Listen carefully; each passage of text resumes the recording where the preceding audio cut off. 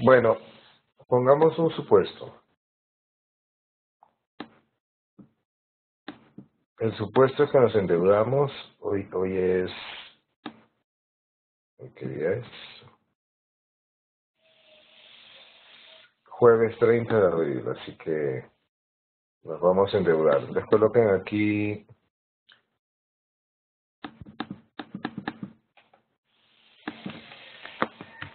treinta de abril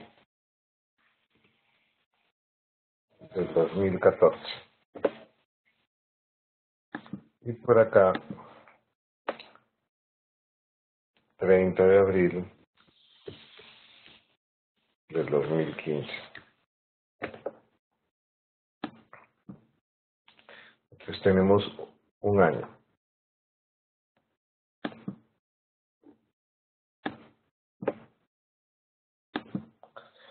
Eh, la deuda fue de 40 mil dólares. Entonces, este día, pues te endeudaste, te endeudaste con un banco extranjero, no, no lo hiciste en Colombia, lo hiciste fuera del país. Y fueron 40 mil dólares. Lo hiciste fuera del país porque la tasa de interés fue muy apropiada. Te dieron una tasa Libor más 4. Entonces, la tasa Libor es una tasa que se maneja para créditos internacionales. Eh, viene, pues se, se, se, ejecuta, sobre todo en Europa, bueno, se ejecuta en todo el mundo, y es una tasa fabricada en una consulta que se le hace a los bancos europeos. Entonces, eh, como ven aquí, es una tasa fijada por la Asociación de Banqueros Británicos. Eh, es algo extraño, pero, por ejemplo, la DPF, que es la tasa local, se construye basándose en las ofertas de CDT de 90 días de los bancos locales. Esta es más o menos una, una tasa fabricada con una consulta. Ni siquiera hay un producto asociado. Entonces puede ser sujeta a manipulaciones y ha sucedido antes. Entonces, eh, actualmente pues tiene una tasa de interés, pero hace un año, bueno, la verdad es que, no se mueve tanto, digamos, pero normalmente viene expresada en, en, en varios formatos Miren por acá. Hay Libra un mes, Libra a, dos meses, Libra a seis meses. Aquí, aquí tenemos, normalmente pues viene así, Libra a seis meses. Pero hace un año, no es que se mueva tanto, pero 0,05 le voy a poner entonces 0,05% a seis meses. Entonces, así como coloco DTF igual a, mm, por ejemplo, 4,6% efectivo anual, voy a colocar LIBOR a seis meses.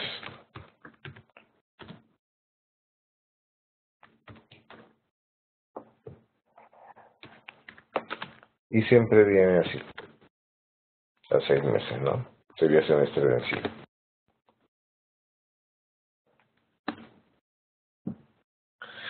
El plazo un año.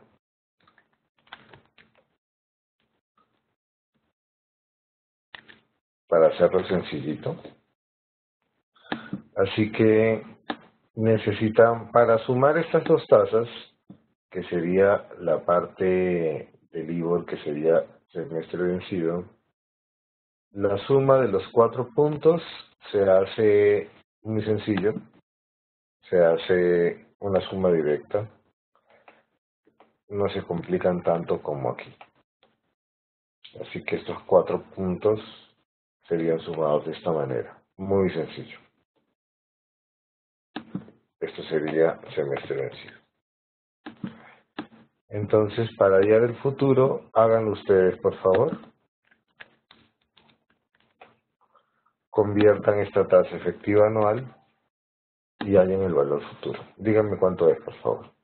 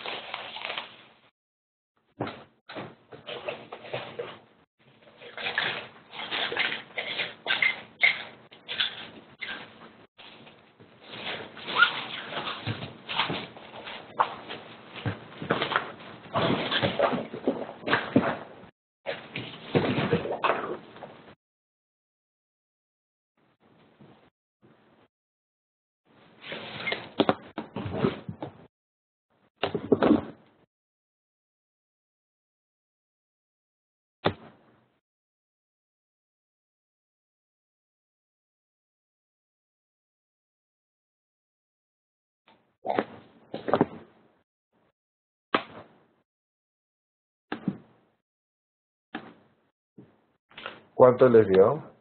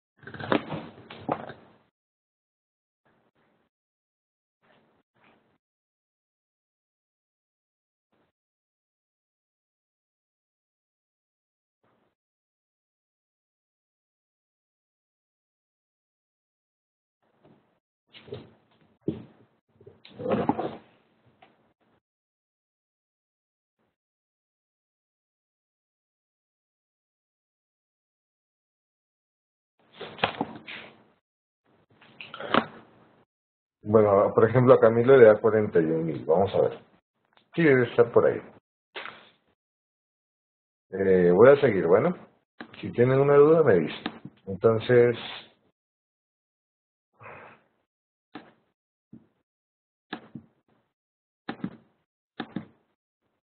entonces hay que pasar la efectivo anual con un punto efectivo.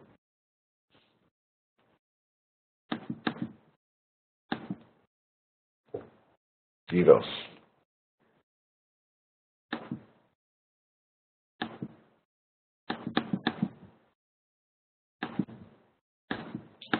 Entonces un valor futuro normalito. Me dice esta tasa, este tiempo y este valor presente. Así que estamos al 30 de, de, de abril.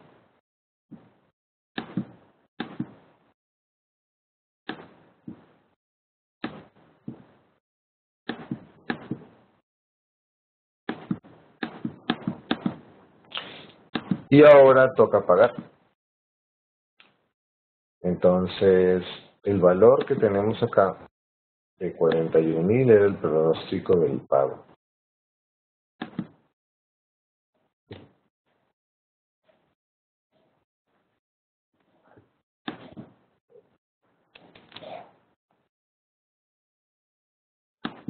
Entonces, el valor futuro, o sea, el pago de la deuda, esperan que pague este monto. Si nosotros nos mantuviéramos en Estados Unidos no habría problema, pues esto sería lo que hay que pagar. Pero el problema es que nosotros estamos endeudados en dólares. Y no solamente cuando nosotros nos endeudamos llegan son pesos, entonces la deuda que hemos adquirido acá o el monto que vamos a pagar, este monto de aquí de 40 mil dólares, pues nos toca convertirlos a pesos. Tenemos que convertirlos, así que voy a buscar cuánto estaba el dólar en esa época. Entonces, eh, en un inicio nos endeudamos por 40 mil y eso es un monto en pesos. Por eso le coloco monto COP.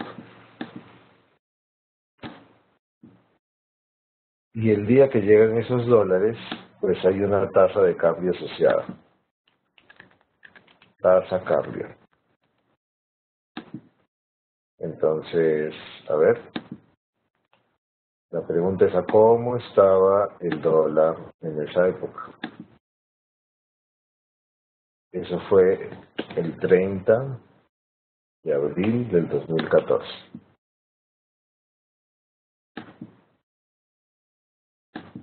Vamos a ver.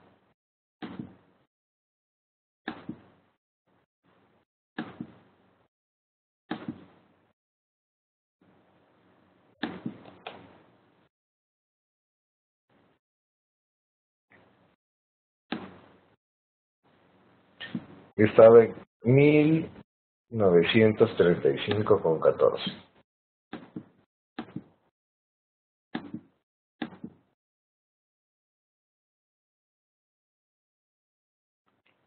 No sé, pero después de la actualización eso quedó tan lento. Detesto Windows, pero bueno.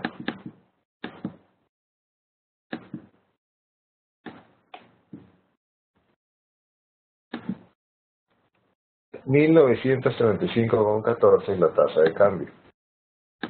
Quiere decir que cuando me endeudé en 40 mil dólares, los dólares que llegaron a Colombia tuvieron que multiplicarse por este valor. Y el monto entonces que me dieron fue de 77 millones de pesos. Bueno, 77 millones 400 mil.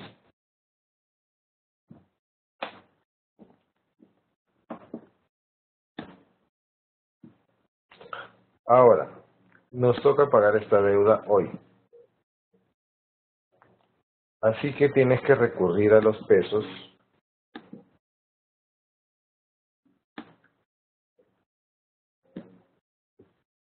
Necesitamos buscar pesos en el mercado o en nuestra cuenta de banco.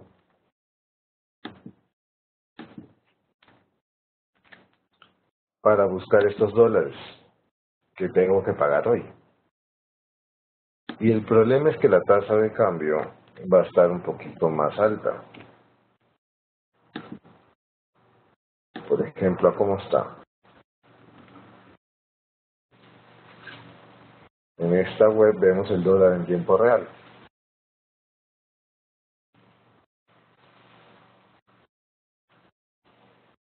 Bueno, si nos parece algún día.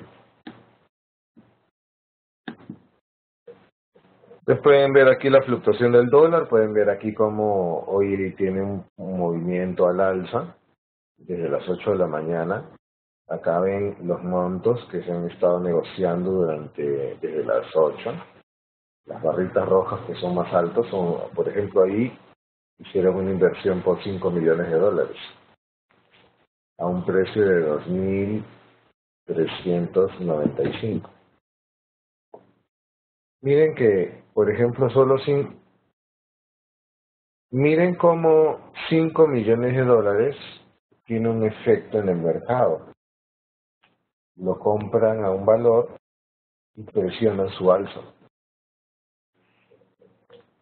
Antes estaba a 1.394 y cómo comprarlo a un valor más alto hace que el dólar automáticamente suba. Entonces, montos tan pequeños, pues parece muy alto para cualquier persona, pero eh, para un mercado es bastante pequeño. Si esto lo metieran en otros mercados como mercado accionario en Wall Street o, o, mercado de divisas, pues no le haría media al, a la fluctuación del activo. Pero la tasa que necesito es 2.388,06. Eso es lo que necesito.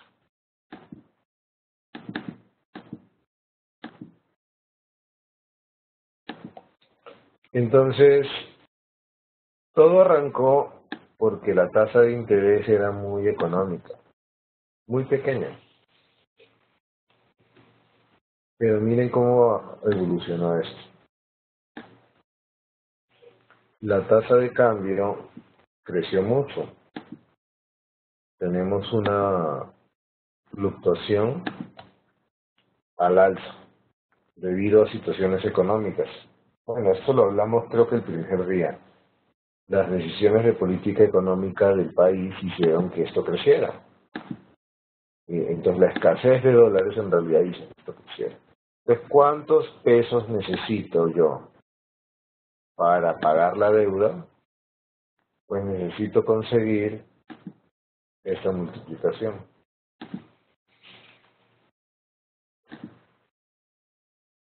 99 millones de dólares, de pesos, perdón. Necesito conseguir estos pesos para comprar los dólares que necesito pagar.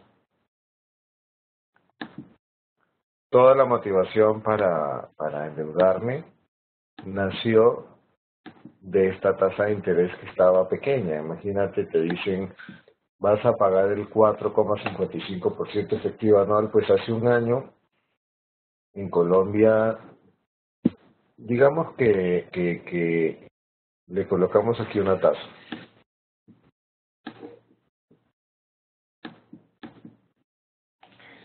Digamos que en Colombia, en esta época, la tasa estaba al 23% efectivo anual. Esta era la tasa de interés que, que me cobraban en Colombia. Entonces el razonamiento fue, como me cobran el 23% efectivo anual, yo mejor me voy afuera y pido la plata afuera y solo voy a pagar el 4.55. Con lo que no contaba era con la evolución de la tasa de cambio, que el dólar estuviera tan caro y eso va a perjudicarme porque va a incrementar el valor del crédito. Entonces, la pregunta es, ¿cuál es la tasa final? Por lo que hemos visto acá. ¿Cuál es la tasa final de este crédito?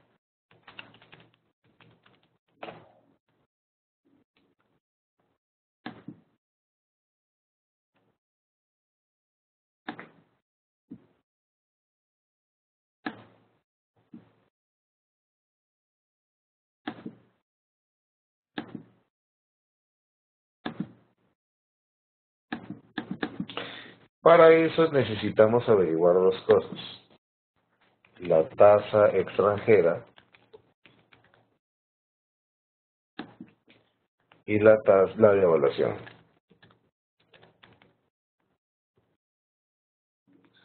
La tasa extranjera pues ya la tenemos. La tasa extranjera es esta que averiguamos por acá. La devaluación, bueno, esa sí la necesitamos sacar con una ecuacióncito. Mejor la, lo coloco así. Valor final menos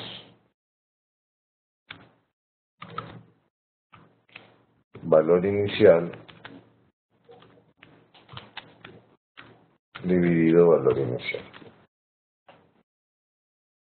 Es una ecuación sencilla. Entonces le dices, pues valor final es este valor de aquí. Menos valor inicial dividido valor inicial. Observa que la devaluación es del 23,41%. Y es que se ha incrementado el valor del dólar por una situación coyuntural, una situación económica.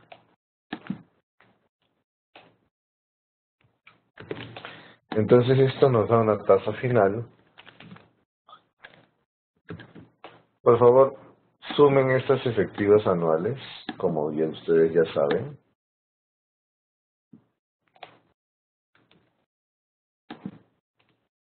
Para sacar este valor de aquí. Sumen estas dos tasas efectivas anuales, por favor, como ustedes ya saben. Entonces la suma de dos tasas efectivas anuales, como siempre, es así. Uno más esta por uno más esta menos uno.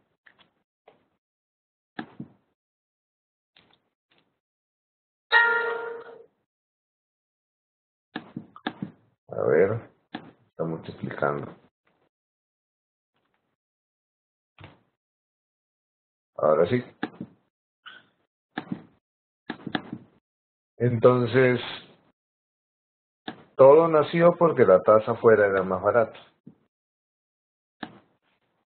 La tasa era de 40 mil dólares, perdón, de Libor más 4. Con lo cual iba a pagar solo esto.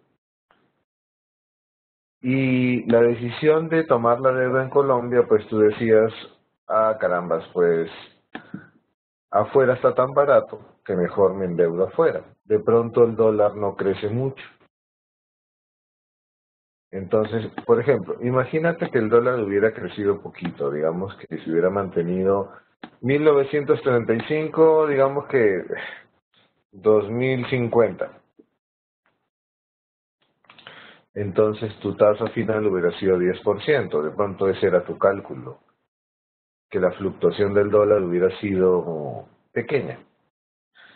Pero la fluctuación del dólar fue bien alta. Entonces observa cómo la verdad te hubiera salido más barato endeudarte en Colombia. Pero decidiste afuera y tuviste que, que someterte a esto, que es la fluctuación de la tasa de interés perdón, de la tasa de cambio, en este caso del dólar, y terminó así, terminó muy, alto.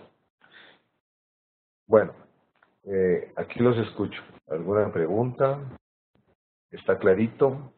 ¿O está enredado? Cuénteme, por favor. Entonces tenemos que colocar un frente a frente. Banco extranjero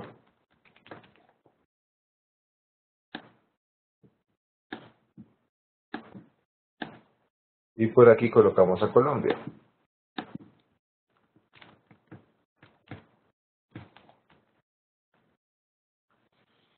Entonces,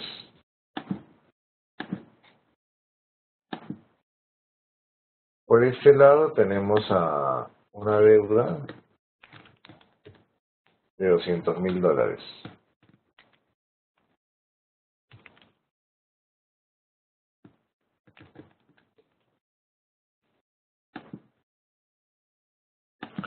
Por este otro lado, no podemos pedir 200 mil dólares, necesitamos la tasa de cambio. La tasa de cambio hoy es, como dice aquí, este valor. Así que la deuda en su equivalente en pesos será este valor por este valor. La tasa de interés es de, según el ejercicio de 0,556% más 7. Semestre vencido. Aquí la tasa sería 4,5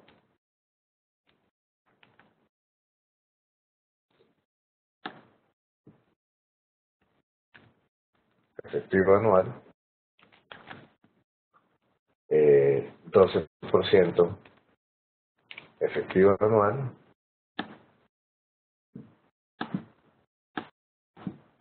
para un total de, esto ya lo saben hacer, uno más el primero, uno más el segundo, menos uno.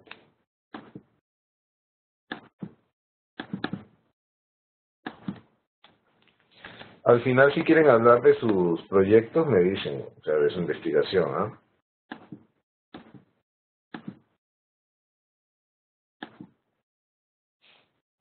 Entonces, estas dos tasas que aparecen acá, yo no las puedo comparar. Así la ponga esta en efectivo anual.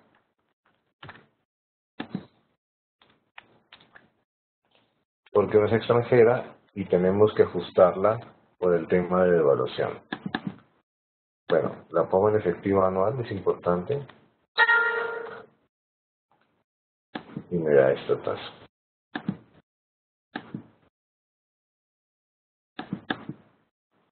Me sale con doble paréntesis. Qué extraño. Ah, ya. Le puse paréntesis al inicio.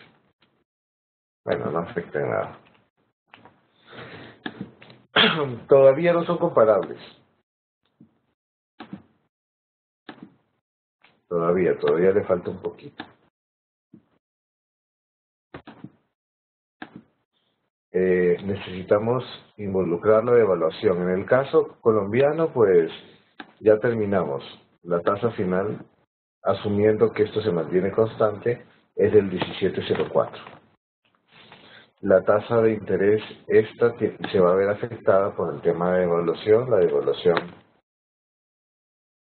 Bueno, eh, aquí el valor futuro, podemos hallar los futuros de cada uno en su respectiva moneda, sería igual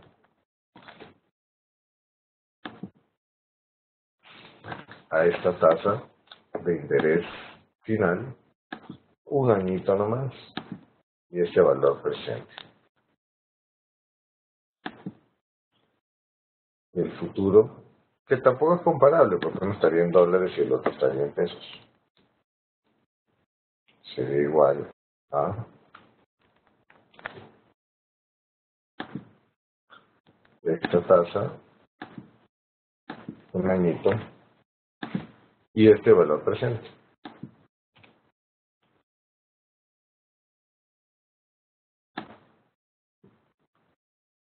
Listo. Adicional, entonces, podemos calcular la devaluación con el valor final del dólar. Ahora ese es solo un pronóstico, ¿no? no sabemos realmente cuál va a ser. La evaluación es esto. Así que finalmente la tasa local, una especie de nacionalización de la tasa sería uno más la tasa de interés extranjera por uno más la devaluación proyectada menos 1. Entonces, ya los puedo comparar. Yo ya puedo comparar estos dos, ahora sí. De mantenerse el pronóstico de la devaluación, que es que el dólar llegue a este valor, pues sale más favorable endeudarse afuera. hallar la tasa de interés final de cada banco, pues aquí tienes la, la colombiana.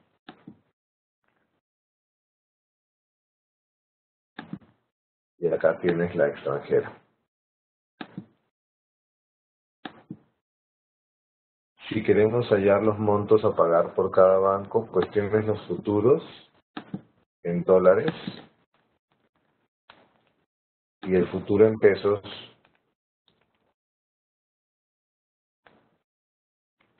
sería multiplicar este valor por la tasa de cambio de esa época.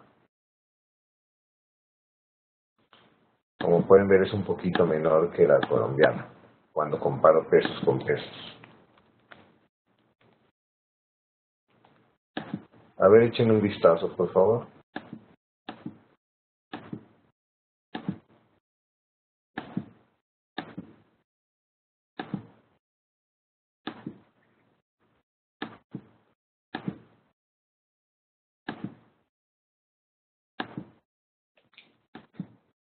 Hablar de 150 mil dólares, su equivalente colombiano sería la, multiplicación de estos dos valores. Estamos hablando del monto en dólares por la tasa de cambio del día que hacemos la operación. De aquí en adelante continuamos con las respectivas tasas. La tasa prime es una tasa del 3,25 que también viene semestre vencido y le sumamos 3 puntos o 3% para un total semestre vencido de esto. Como la evolución de la tasa de cambio es efectiva anual, esta es la razón por la cual convertimos efectiva anual esto de aquí. Le decimos en punto efectivo y le colocamos efectiva anual. De ahí estamos. Esta sería la tasa final del crédito en dólares, en dólares, pero para hacerle un ajuste hay que calcular la devaluación. Digamos que para nacionalizar la tasa. Entonces sería el valor final del 2016, que es la proyección, menos este. Noten que de nuevo hablo de proyección, porque no sabemos cuál va a ser la tasa del 2016. Eh, y noten que la devaluación es negativa, ¿no? O sea que no es devaluación, es reevaluación. El valor del dólar cae. Así pues, nuestra tasa final, o sea, la local, quedaría en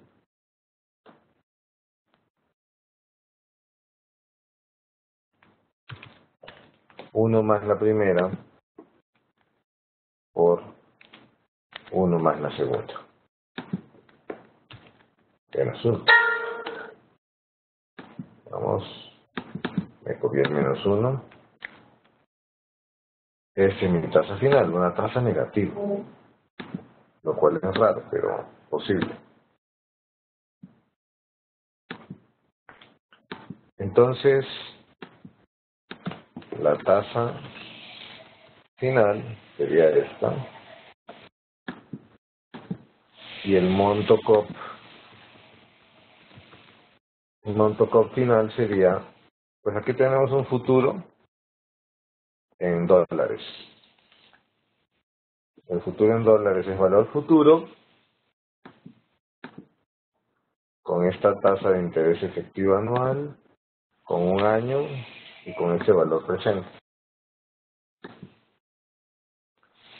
Y en pesos tendríamos que tomar este valor de aquí y multiplicarlo por este valor de acá.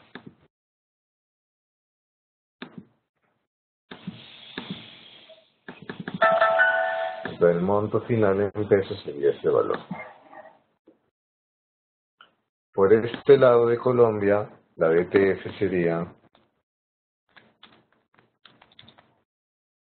1 más 4,56% por 1 más 12,97%. menos 1 para una tasa final de este valor.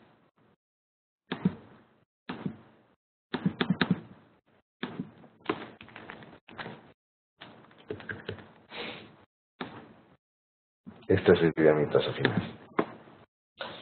Pues ya en la comparación de una yo diría, no, pues eh, no sale mejor el extranjero, ¿no? Si tuviera que repetir las respuestas aquí, para Colombia, tendríamos una tasa final que es esta, y un valor futuro en COP, que sería a la tasa de interés un año y este valor presente me haría 442 millones. Entonces miren la diferencia con Estados Unidos. El solo hecho que la tasa de cambio se proyecte menor hace que por esa diferencia me salga hasta más barato, por eso es negativo, porque me sale negocio perdí 150 mil dólares. Eh, cuando tú pides 150 mil dólares, los conviertes, digamos que sería el monto, está la combinación, voy a bajarlo un poquito. Entonces miren el análisis. Tú cuando pides 150 mil dólares, igual recibes pesos. Recibirías 374 millones de pesos endeudándote afuera. Y cuando toca pagar los dólares o comprar los dólares para pagar la deuda, la deuda es de 159 mil dólares, ¿no es cierto? Son 9 mil dólares de más que tienes que pagar. Los dólares están tan baratos que te dan, que necesitas juntar menos pesos de los que te dieron al inicio del año. Al inicio del año te dieron 374, no podemos colocar esto aquí para no confundir los bancos. Esto fue lo que te dieron al inicio del año eh, cuando te endeudaste afuera. Y mira que esto es lo que te dan 374 y como el dólar está tan barato, tienes que eh, juntar menos pesos para comprar los 159 mil dólares. Eso hace la tasa negativa. Entonces, en conclusión, puedes hacer negocio endeudándote. Lo que pasa es que nadie tiene seguro esto. Así como pudo ser 192 puede ser 992 y ahí la tasa se trepa al 27%. Entonces, esto no lo puedes asegurar si no utilizas un mecanismo para lograr asegurar el precio del dólar. Y estamos hablando de un mecanismo como el mercado forward. Aquí en este mercado, esta tabla eh, te provee el valor futuro del dólar. Por ejemplo, el 29 eh, hoy que es 29, ¿no? Hoy es 30 ya. El, el 29 de octubre el dólar está, este valor es para la compra y este valor es para la venta. Este es el tema que vamos a ver después de la videoconferencia. Eh, se llama mercado o instrumentos financieros forward. Lo vamos a dar la próxima. Después, entonces, no se salvan de la videoconferencia la próxima. Recuerden que eh, nos jugamos buen porcentaje de la nota y necesitan recurrir y acumular la mejor información posible y destacarse en esa videoconferencia. Eh, aquí voy a parar, pero quisiera escucharlo si tienen alguna duda o inquietud.